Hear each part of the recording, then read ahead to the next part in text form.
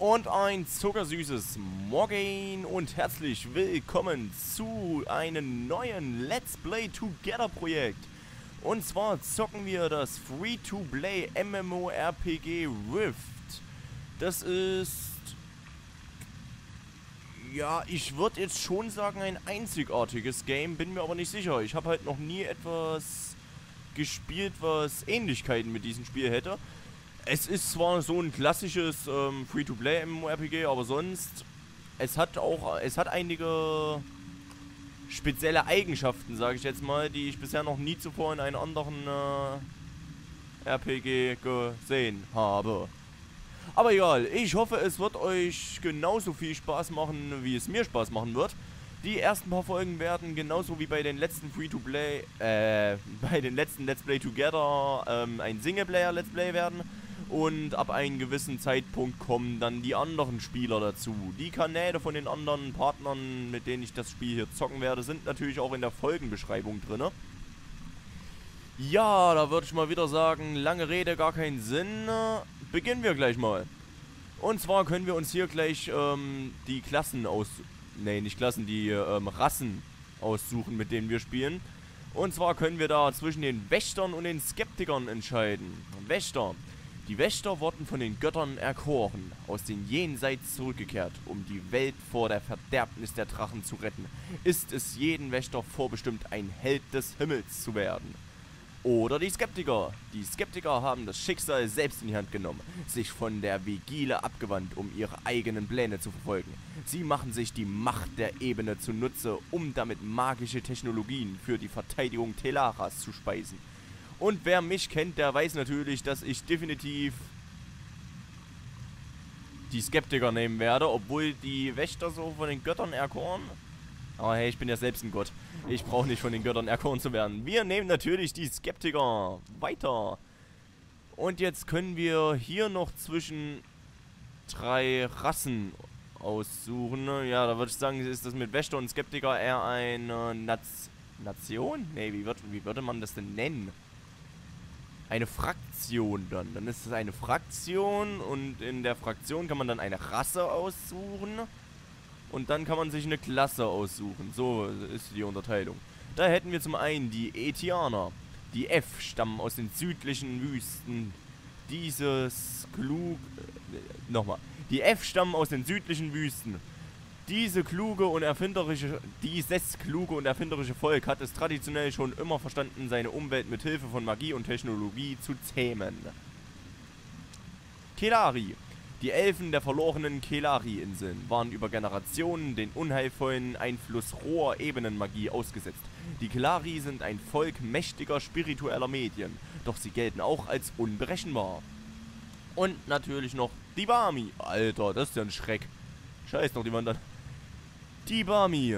Dieser exotische Stamm aus den Rasade Canyons ist für seine Gastfreundlichkeit bekannt. Seine Mitglieder sind starke und clevere Leute, die sich in den Künsten des Krieges und des Handwerks hervortun. Und jede Rasse hat hier noch ähm, Volksfähigkeit. Ah ja, dann ist es ein Volk. Genau, Wed oder Volk, da steht es da unten, aber ich sag trotzdem Rasse. Jede Rasse hat noch hier spezielle Fähigkeiten, wie zum Beispiel bei dem Bami der mächtige Sprung springt in den ausgewählten Bereich, kann nicht im Kampf eingesetzt werden. Und Chelastia Herkunft. Luftwiderstand um 20 erhöht. Das heißt, Windmagie ist dann wohl schwächer gegen die. Kelari haben Camouflage. Transformiert den Kelari für bis zu 30 Sekunden in einen Fuchs, sodass sich die Akro-Reichweite seiner Gegner für ihn verringert. Begleiter des Kelaris verschwinden. Kann nicht im Kampf eingesetzt werden. Okay, dann ist es so eine Art Jäger. Vermächtnis der Feuerinsel, Feuerwiderstand um 20 erhöht. Dann sind Feuerzauber dagegen uneffektiv. Und die Etianer erhöht die Beweggeschwindigkeit um 50% für 15 Sekunden. Kann nicht im Kampf eingesetzt werden. Ist eigentlich auch nicht schlecht. Wüstenbewohner Geburtsrecht, Erdwiderstand. Da gucke ich jetzt aber nochmal bei den Wächtern. Die haben nämlich auch, ja genau, die haben auch drei Rassen hier. Was haben wir denn da? Die Matosianer. Lange bevor es vom Schatten zerstört wurde, war das kalte Matosia das Zuhause von sagenumwobenen Helden und Kriegern. Die haben als Fähigkeiten motivierender Brüller, erhöht die Beweggeschwindigkeit des Matosianers und seiner Gruppenmitglieder um 30% für 10 Sekunden, kann nicht im Kampf eingesetzt werden. Da ist die Fähigkeit von den Skeptiker-Klasse hier als Mensch aber bei weitem besser. Und Erbe des Schattens ist Todeswiderstand um 20% erhöht. Das ist wohl dunkle Zauber oder so. Hochelf. Als ältestes Volk Stellara sind die Hochelfen die Beschützer des Landes. Hinter der ruhigen Natur dieser weisen und begabten Wesen verbirgt sich eine erbarmungslose Hingabe an die Götter. Ha, okay. Engelsfluch. Fliegt zum ausgewählten Bereich. Kann nicht im Kampf eingesetzt werden. Okay. Trost des Waldes ist Lebenswiderstand um 20% erhöht. Das wird dann so Lichtzauber sein oder so. Geil, hier kann man sogar Zwergen herstellen. Wie sieht so ein weiblicher Zwerg... Ach du Scheiße. Hier kann man sogar Zwergen herstellen. Cool. Zwerge sind für ihre sture und pragmatische Tour bekannt, doch sie sind auch neugierig und kreativ. In allen Handwerkskünsten, mit denen sie sich befassen, haben sie es zu wahrer Meisterschaft gebracht. Zwergenfrühstück. Stellt 30 Sekunden lang jede, 8, jede Sekunde 8% der Sekundheit und Mana wieder her. Das ist mal eine geile Fähigkeit. Und Wunder der von Hammerhall Wasserwiderstand um 20% erhöht. Okay, nice.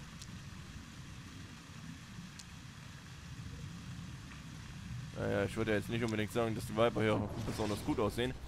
Aber wir haben uns für die Skeptiker entschieden. Äh. Äh. Ach du Scheiße. Voll die Amazoner. Und wir nehmen natürlich, wie man mich kennt, ein Bami. Das ist so ein schöner Riese und ich mag solche Riesen. Ausrüstungsvorschau. So gefällt mir das doch. Und jetzt können wir noch die Klassen wählen. Da hätten wir Krieger. Krieger kämpfen in erster Reihe und tragen Plattenrüstungen, um sich in der Schlacht zu schützen. Magier sind Zauberwirker, dessen einzige Verteidigung ihre Stoffrüstung und ihre mächtige Magie sind. Kläger, Kleriker sind Experten des Spirituellen, die Kettenpanzer tragen und göttliche Macht einsetzen.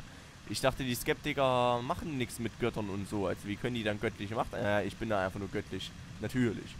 Und die Schurken. Schurken legen Lederrüstung an und sind ausgezeichnete Nah- und Fernkämpfer. Aber wie man mich natürlich kennt, ist die Klasse auch schon äh, klar. Also, ja, definitiv klar. Ich bin natürlich der wunderschöne Tank. Kann man sogar mit Heiler zusammensetzen. Das gefällt mir. Weiter. Ach, und hier kann man... Ach du Scheiße, da gibt es jetzt wieder total viel zu lesen. Da hat jede Klasse noch eine 1, 2, 3, 4, 5, 6 unter... Alter, scheiß die Wand an. Okay, rechtschaffender Verteidiger. Der Top-Bild für Kriegertanks. Um körperlichen Schaden zu reduzieren, benutzt diesen Bild für alle Kämpfe mit schweren körperlichen Schaden. Oder bei allen Kämpfen, wo ihr Ablenkzeit braucht, um zu überleben. Beschreibung von Woof Raptors. Okay. Fürst des Krieges. Vielseitiger Bild für PvE, PvP und Solo-Inhalte. Bild und Anleitung von Roche Crabria. Oberherr. Ein starker Krieger, der sich hervorragend für, äh, dafür eignet, mehrere Feinde gleichzeitig Schaden zuzufügen. Seine Beständigkeit durch passiven und aktive Heilerfähigkeiten helfen ihnen am Leben zu bleiben. Dies macht sie zu ernstzunehmenden Gegnern. Das hört sich doch interessant an. Raserei. Der Paragon ist darauf angelegt, seinen Einzel einen Einzelziel hohen Körperschaden zuzufügen und hat keine Wirkungsbereichfähigkeiten. Er bewirkt mit dem höchsten Einzelschaden im Spiel. Bild und Beschreibung zur Verfügung gestellt von Jopok. Auramant. Auramanten sind Heiler, deren Zauber über einen bestimmten Zeitraum wirken und somit Experten für effektive Gruppenheilung. Des Weiteren verfügen Auramanten auch über eine beachtliche Palette an Zaubern, die ein Ziel heilen. Das hat doch aber überhaupt nichts mit Krieger zu tun. Verstehe ich nicht. Und der Bestienfürst, ein fies... LOL. Der hat eine Kitty. Cool. Hello Kitty. Ein vielseitiger Krieger, der von Defensive zu Offensive wechseln kann, während er seine Gruppe mit Heilung und Stärkung versorgt, zusammen mit seinen Kampfbegleiter. Geeignet für Solospiele in der offenen Welt oder für Gruppenaktivitäten. Okay. Da gehen wir jetzt nochmal zurück und schauen uns die anderen an. Ach du Scheiße. Ein defensiver Magier, der die Macht der Luft und des Wassers nutzt, um sich selbst abzuschirmen und Angriffe der Widerste und, und Angriffe zu widerstehen. Ach, um sich selbst abzuschirmen und Angriffe zu... Okay. Die anderen Magier besiegen würden, Bild und Anleitung zur Verfügung stellt von Trunks. Der Anfänger. Ruft eu... Alter, chill mal Ruft eure tödlichen Verbündeten aus den Jenseits und werdet ihr großer Gebieter. Und keine Angst, was gestorben ist, das kann auch wiederbelebt werden. Bild bereitgestellt von Dunsit. Blattklinge. Blattklinge ist ein Solo-SPS-Magier mit großer Überlebensfähigkeit. Er kann einer Gruppe durch Heilung helfen, besonders wenn keine Chloromanten anwesend sind. Bild und Guide bereitgestellt von Deckner Red. Schnitter.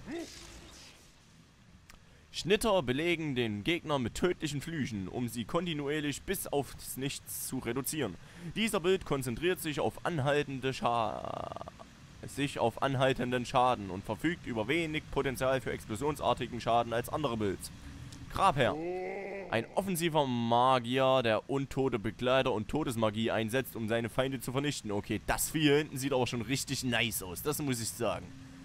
Das sieht mal richtig nice aus. Flammenrufer. Ein offensiver Magier, der Feuer einsetzt, um seine Gegner aus der Entfernung zu vernichten. Dieser Bild, der großen Schaden anrichten kann, eignet sich am besten für Gruppen und könnte im Solospiel Probleme bekommen. Guide bereitgestellt von Headbread. Ja, Heartbread. Beat, Heartbeat, Heartbeat. Äh, Schattenschnitter. Das ist dann wohl so ein Grabherr zusammen mit einem Schnitter.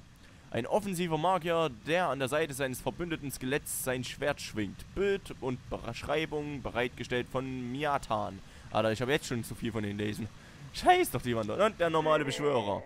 Ein offensiver Magier, der seine Kräfte mit denen von mächtigen Elementaren vereint. Dieser Bild ist auf das Solospiel spezialisiert, verursacht jedoch nicht so viel Schaden wie ein Bild, der sich besonders auf Schaden konzentriert und so. Dann gibt es hier noch die Kleriker. Ich hoffe, die haben nicht ganz so viele Klassen. Oh, jetzt hört doch auf mit der Scheiße. Engelswache. Ein defensiver Kleriker, der durch seinen Glauben verbündet von schweren Angriffen abschirmt und kleinere Wunden verarzten kann. Guide bereitgestellt von Grins. Gesetzbringer. Ein offensiver Distanzkleriker mit ausgezeichneter Überlebensfähigkeit. Dieser Aufbau eignet sich hervorragend für das Solospiel, erreicht jedoch nicht dieselbe Stufe beim SPS wie ein schlachtzugspezifischer Aufbau. Aufbau und Einleitung zur Verfügung gestellt von Silent. Schamane des Heiligen Feuers. Auch eine geile Waffe, muss ich sagen. Ein Kleriker, der seine Gegner gerne zum Nahkampf herausfordert und oft als letzter auf dem Schlachtfeld übrig bleibt. Dieser Bild eignet sich hervorragend für Solospiel, erreicht jedoch nicht dieselbe Stufe beim SPS wie ein Schlachtzugspezifischer Bild. Der Silenus. Netter Baum. Ein offensiver Kleriker, der sich mit mächtigen Feenverbündeten zusammenschließt, um all jene zu bestrafen, die sein Anliegen missachten. Anleitung zur Verfügung gestellt von Siatin. Rächerdruiden. Ein offensiver Kleriker, der sich auf Selbstversorgung und auf Stufenanstieg ohne die Hilfe anderer spezialisiert hat. Bild und Guide bereitgestellt von Quinz. Hört sich auch interessant an. Seelensammler. Seelenernter sind auf das Solospiel gegen mehrere Gegner gleichzeitig spezialisiert, verursachen jedoch nicht so viel Einzelschaden oder Schaden mit Wirkungsbereich wie ein darauf spezialisierter Bild. Wohltäter? Wohltäter sind heilende Kleriker, die sich auf Einzelzielheilung spezialisiert haben. Sie können sogar die Gesundheit von kritisch verletzten Verbündeten schnell wiederherstellen. Die Heilung von mehreren Personen gleichzeitig fällt ihnen jedoch schwer. Und zum Schluss noch der Wahrsager. Ein Wahrsager verstärkt die Macht seiner Verbündeten und vermindert die Verteidigung des Feindes, während er seinen Verbündeten mit, seiner eigenen mit seinen eigenen Schaden und seiner wirksamen Heilfähigkeiten hilft, Bild der Verfügung, äh, zur Verfügung gestellt von Ambi und Trainers. Das ist dann wohl ein äh, Buffer. Und zum Schluss noch der Schurke. Ich hoffe, da gibt es jetzt relativ wenig. Oh, jetzt hört doch auf. Wieso gibt es denn bei Krieger am wenigsten? Geiles Wildschwein. Der Phasenwandler. Ein widerstandsfähiger, beweglicher Schurke, der dafür geeignet ist, die Aufmerksamkeit der Feinde auf sich zu ziehen. Dieser Bild funktioniert am besten in einer Gruppe. Bild und Beschreibung zur Verfügung gestellt von Maspel. Flammensoldat. Ein extrem vielseitiger Kampfschurke, der Feuer und Tod gegen seine Feinde einsetzt. Derwisch. Ein offensiver Nahkampfbild, der sich hervorragend dazu eignet, große Gruppen von Feinden schnell auszulöschen. Bild und Beschreibung zur Verfügung gestellt von Maspel. Schon wieder. Scharmützler. Okay. Dieser Bild kombiniert den Schaden des Waldläufers mit der Nützlichkeit und Explosivität des Scharfschützen, um den Feind so richtig in die Zange zu nehmen und Schaden aus, der Hin aus dem Hinterhalt zu, zu fügen. Bild zur Verfügung gestellt von Fiskerton. Jäger. Mit einem geilen Wildschwein. Cool. Ein offensiver Schurke, der Tiergefährden beschwört und auf Feinde hetzt, während er aus dem Hintergrund tödliche Geschosse auf seine Feinde hageln lässt. Außerdem kann er auf direkten Konfrontationen mit seinen Feinden gehen. Beschreibung ist von Gary. Gary, ich weiß, es so falsch von mir. Nachtbürger. Ein offensiver Schurke, der aus dem Schatten zuschlagen kann, um seine Feinde schnell mit Feuerschaden zu überwältigen. Bild und Beschreibung zur Verfügung gestellt von Gary. Nun sitze ich ganz alleine hier.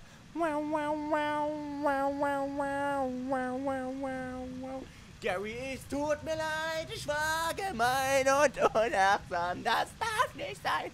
XD. Schattenpirscher. Ein offensiver Schurke, der aus dem Schatten heraus zuschlägt und seine Feinde schnell überwältigt. Beschreibung zur Verfügung gestellt von Orangu. Und zum Schluss noch der Virtuose. Der Barde ist ein wichtiger Bestandteil einer jeden Gruppe der Verbündetenheit und stärkt, während er Feinde schwächt und ihnen Schaden zufügt. Der Barde kann sich auch als Solo-Kämpfer behaupten, aber funktioniert am besten in einer Gruppe. Das wäre wohl die perfekte Klasse für Moiro, der aber bei diesem Let's Play nicht mitmacht. Wir nehmen natürlich einen Krieger. Und wen nehmen wir denn da? Das ist eigentlich relativ egal, wen wir nehmen. Denn ich werde mir sowieso eine eigene Klasse erstellen.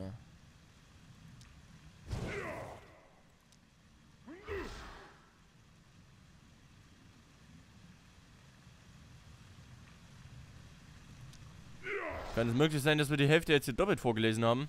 Irgendwie kommt mir das so vor.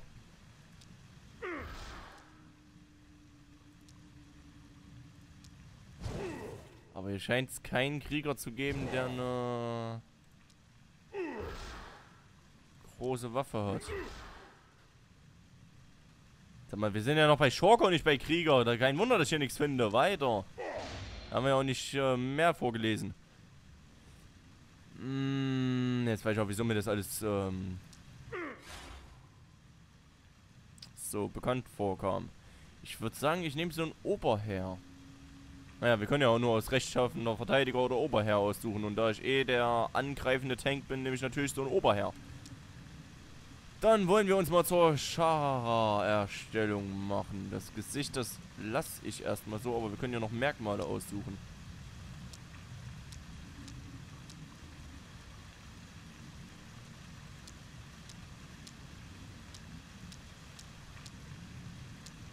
Nehmen wir es so.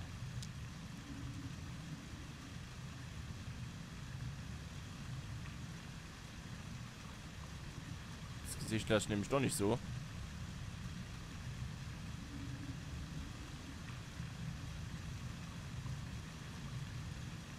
Das Gesicht kann so bleiben. Augenfarbe.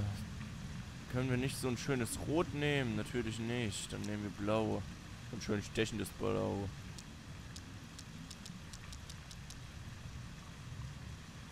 Augen können ruhig so ein bisschen verträumt sein.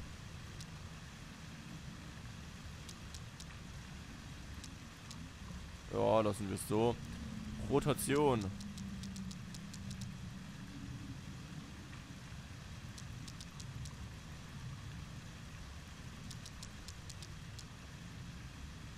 So, wird da ein Schuh draus. Augenbrauen.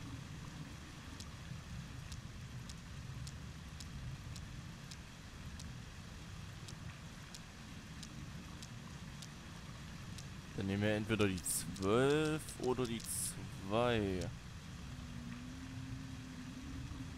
Ich nehme die 2. Die Nase. Da brauchen wir keine so große. Die kann ruhig ein bisschen kleiner sein.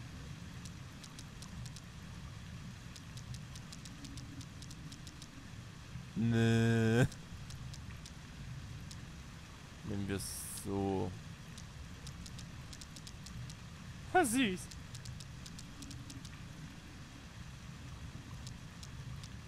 So, pass auf. Haarfarbe. Dann nehmen wir so ein schönes Schwarz. Und Strähnenfarbe. Haben wir hier kein Rot? Nehmen wir es dann so. Dann noch die Haare aussuchen. Können wir den irgendwie drehen?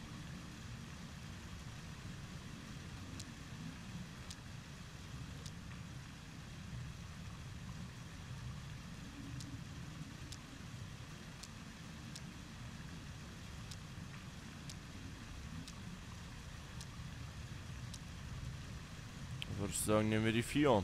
Die sah von den ganzen jetzt bisher noch am besten aus. Nehmen wir so einen Typen mit so einem Iro. Ja. Wieso nicht? Farbe.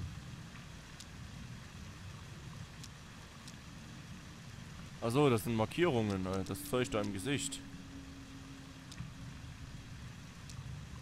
Zwei sieht nicht schlecht aus.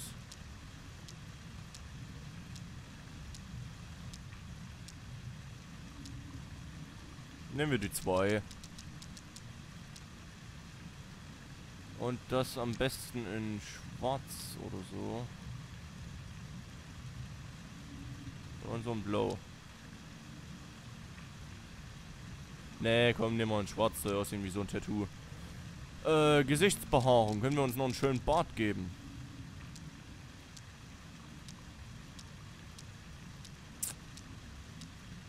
Ja, gut. Wollte eher einen schönen Bart. Dann nehmen wir die 1. Das sieht wenigstens etwas noch was aus. Ja, wieso nicht. Und die Hautfarbe des Körpers.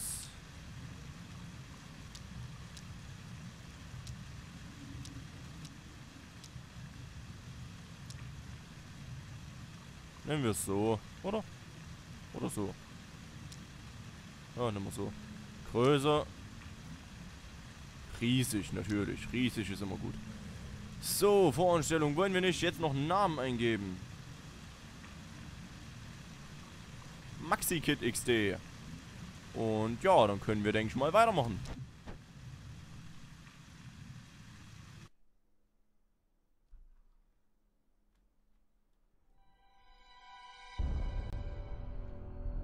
Wir konnten nichts tun. Ohne Auserwählte waren wir nicht stark genug. Ich war nicht stark genug. Die Wächter schimpften uns Ketzer, zerstörten unsere Maschinen und lieferten uns der kommenden Katastrophe aus. Die Brut aus den Rissen fegte wie eine Seuche über die Welt hinweg. Sie vernichteten die Wächter und zwangen dann ganz Telara in die Knie. In ihrem Gefolge kehrte ein uraltes Übel zurück. Regulus, der Zerstörer. Niemand vermochte ihm zu trotzen. Und er verschlang alles. Aber noch gibt es Hoffnung. Einige von uns haben überlebt. Es gelang uns, neue Auserwählte zu schaffen. So wie euch. Ihr seid unser Meisterstück. Telaras Schicksal liegt in euren Händen. Ihr dürft nicht versagen. Ja. Den ihr Meisterstück. Also ich muss sagen, da haben die echt was Grandioses erschaffen. Also wenn ich das, äh, ja, das ist doch klar, dass ich ihr Meisterstück bin. Meine, was soll ich denn sonst anderes sein? Ich bin groß. Fällt mir. Ja, gut, grafisch ist das Ganze... Also mit Aeon kann es nicht mithalten, aber sonst sieht es eigentlich recht nett aus. Hier geht's noch nach hinten.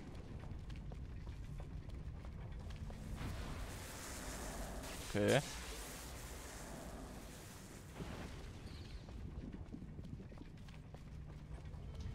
Also ja, es sieht ganz nett aus. Was ist das da? Ah, hier sind Feinde drin. Das ist eine Art Gefängnis. Ah ja, ich bin natürlich der Auserwählte. Was soll ich auch anders sein? Und hier unten wurde ich anscheinend erschaffen. Wie es aussah. Ja, passt. Ich würde sagen, damit beenden wir jetzt auch den ersten Part schon. Wir haben äh, nicht besonders viel gemacht. Eine Folge haben wir zur Charaktererstellung verschwendet. Was ist das? Kann man damit irgendwas machen? Wissenskollektiv. Seid gegrüßt, auserwählte Seele. Wie kann ich euch behilflich sein? Die Geschichte dieser Einrichtung. Die ursprüngliche Lebensfabrik wurde im 20. Jahr der Herrschaft von Prinz Zarev in der Nähe der Stadt Sprosshafen entdeckt. Sie wurde vom etianischen Staatsstaat Arken errichtet und wurde benutzt, um Experimente zur Reproduktion, Erschaffung, zur Reproduktion, Erschaffung, Veränderung und Wiedererweckung von Leben in all seinen Formen durchzuführen. Die Etianer hatten gerade erst mit frühen Entwürfen der Maschinen, die sie Wiederauferstehungsschmieden nannten, angefangen. Sie wollten mit, ihren Techno mit ihrer Technomagie Menschen aus dem Tod zurückholen. Ihre Studien wurden die Grundlagen der Experimente, die wir als Skeptiker durchführten. Nach, nachdem wir ihre Hallen viele Jahrhunderte später erkundeten. Ich glaube, wir lassen das jetzt mit dem Lesen. Ähm, ich kann mich an das Aeon Let's Play erinnern und nein, das Lesen hat mir nicht Spaß gemacht. Deswegen würde ich sagen, ich beende jetzt hier einfach den Part und dann sehen wir uns in der nächsten Folge wieder, wo wir beginnen mit den Spielen. Und bis dahin, ich hoffe, ihr freut euch genauso sehr wie ich auf das Let's Play. Keine Sorge, die nächsten Folgen werden etwas actionlastiger sein als die. Wir sind jetzt erstmal nur reingekommen. Ja, und dann machen wir in der nächsten Folge einfach weiter. Bis demnächst und Tüdelü.